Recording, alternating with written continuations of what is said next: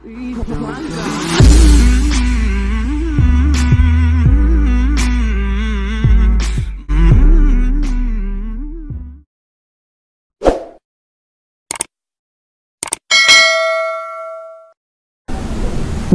mereka memfitnah saya, tetapi saya tetap jalan terus. Salah satu buah dari uh, caci maki atau finaan. Setahu saya sejak lahir sampai sekarang saya tidak pernah memiliki sakit kronis, tidak pernah. Justru saya masih SMP kelas 1 sudah jadi pengkhotbah. Jadi sekarang sebagai mantan pendeta. Sorga itu milik dia yang percaya Isa Al-Masih yang mengajarkan tauhid yang menganjurkan percaya hanya menyembah dia. Mudah-mudahan saya mati dalam keadaan muslim.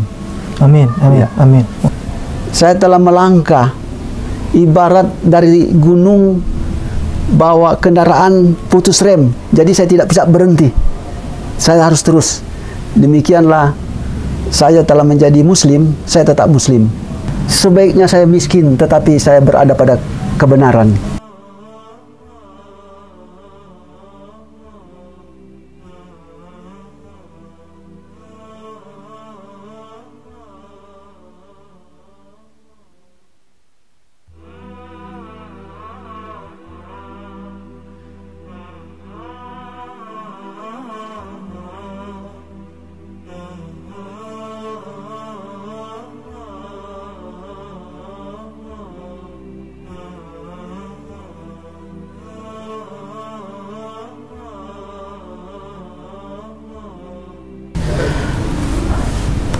Kondisi saya sekarang sehat walafiat dan sepenuh terlibat belajar tentang keislaman sesuai dengan agama yang saya anut iman saya tidak punya tergoncang ya. sekali-kali tidak pernah tergoncang ya. cuma kan rasa lelah ya. berkali-kali akhir ini saya Manado Surabaya Surabaya Manado Manado Jakarta ya. Jakarta Malang seperti hari ini saya berada di Malang. Ya. Jadi saya tetap dalam keadaan fit, sehat, cuman rasa lelah. Masya. Tapi tidak apa-apa karena ini untuk kepentingan memuliakan nama Allah yang sah. Oke. Okay. Ya. ya. Kalau kesehatan agak tergoncang itu pun ditinjau dari segi lelah. Jadi ya. sebetulnya tidak tergoncang. Dan iman itu tetap permanen. Ya. Iya, percaya bahwa Allah itu adalah penolong yang baik. Masya Jadi iman saya tidak pernah tergoncang. Masya Suatu saat tubuh saya tergoncang, tetapi iman saya tetap kokoh berdiri tegak. Ya, ya.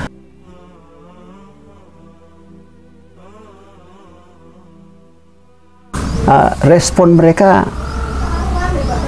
terutama dari mereka yang barusan kenal saya, ya.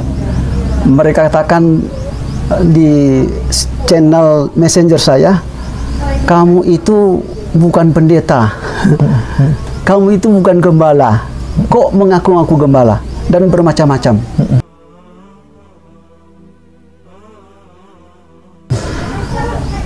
Namun saya tetap tabah karena saya mengerti semakin kita bertumbuh semakin banyak rintangan seperti saya lakukan hari ini. Ya. Walaupun banyak respon, saya harus menghadap dengan tabah. Kenapa? Saya pikir semakin banyak rintangan, semakin kesuksesan. Itu Tuhan Amin. anugerahkan. Amin.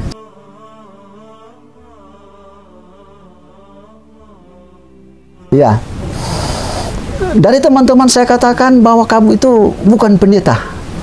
Tetapi fakta saya 71 tahun, 17 tahun saya sebagai pendeta. 17 tahun.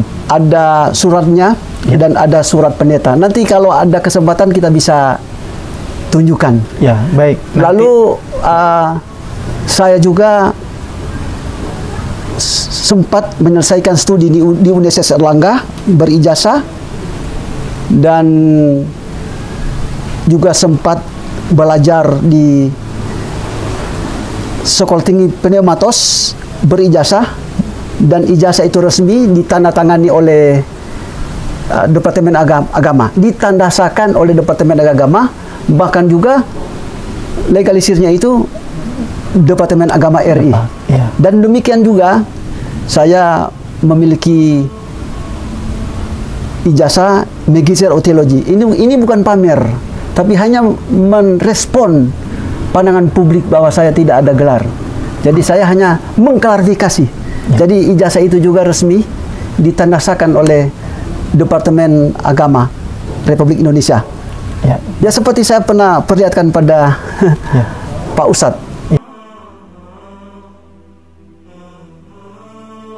Dan saya juga sebelum jadi Muslim, saya pernah berkali-kali jadi utusan duta damai internasional.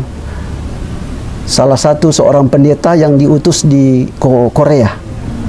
Saya diberikan kesempatan untuk berdoa perdamaian antara Korea Utara dengan Korea Selatan Masya Allah. dan kami juga di sana banyak kegiatan termasuk menyebarkan misi damai itu.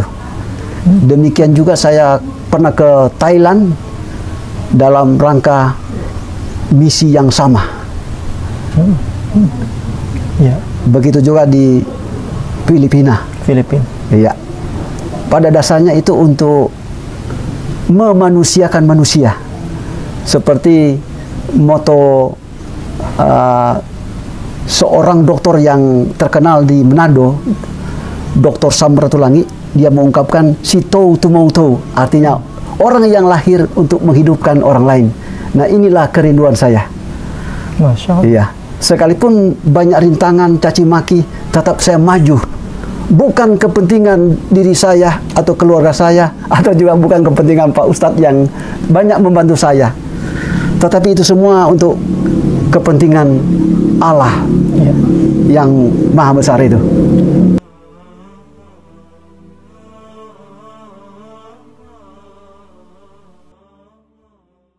Karena harus ditunjukkan karena teman-teman saya itu menjelek-jelekkan nama saya. Ya. Mengungkapkan pendeta Momong itu tidak ada ijazah Ya.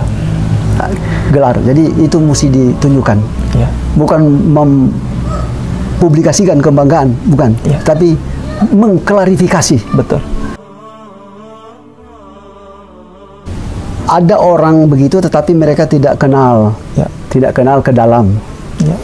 Karena setahu saya seorang tidak waras itu Ya. berada pada tempat-tempat tertentu di rumah sakit jiwa. Ya.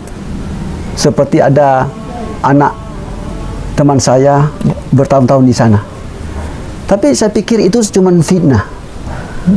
Setahu saya sejak lahir sampai sekarang saya tidak pernah memiliki sakit kronis, tidak pernah.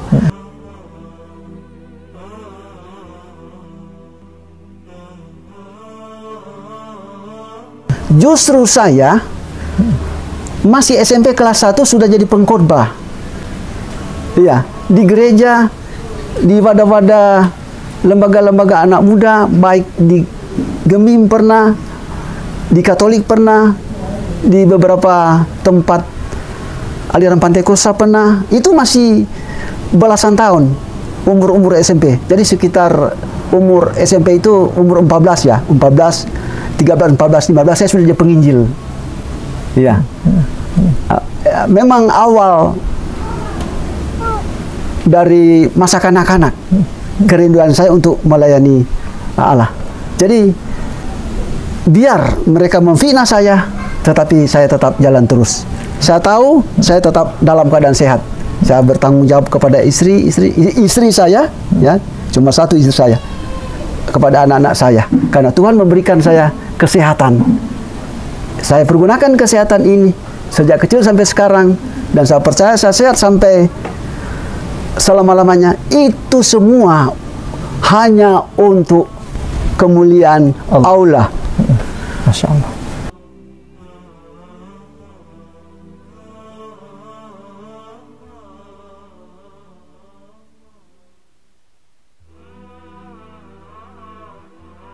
Saya senang mendengar ini. Saya akan klarifikasi. Iya. Ya, sekitar tahun 85 86 uh, saya pada saat itu jadi pegawai negeri.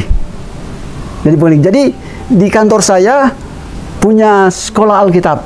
Tetapi itu sekolah Alkitab cuman lay ministry, pelayanan, tidak sampai uh, pemberian gelar. Jadi saya punya teman waktu itu namanya Yance Yosep.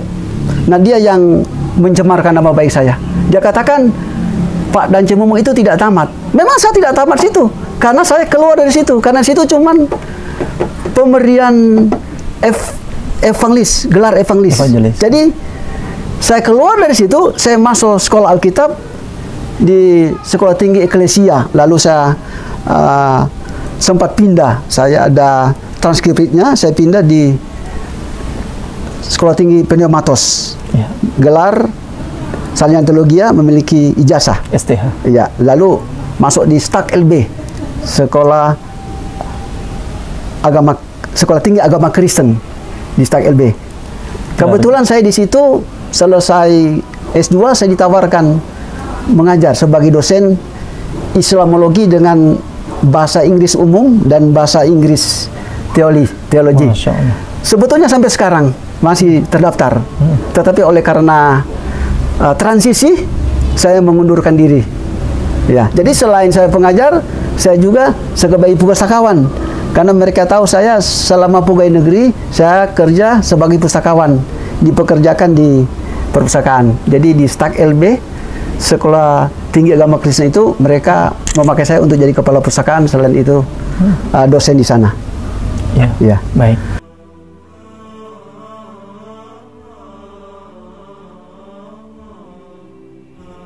Ya. Segala sesuatu ada efek dan ada endingnya. Dikatakan penyusup. Artinya seorang Kristen pura-pura Muslim, mengaku Muslim dan mendapatkan berkah pada Muslim. Lalu hatinya itu Kristen itu orang paling jahat di dunia. Hukumannya berat. Masya Allah. Itulah sebabnya tadi saya kontak dengan anak saya yang perempuan. Pak, kalau so, sudah muslim tetaplah bekerjalah sebagai muslim yang baik. Masya Allah. Jadi itu inspirasi anak saya, Mbak Rara. Mbak Rara.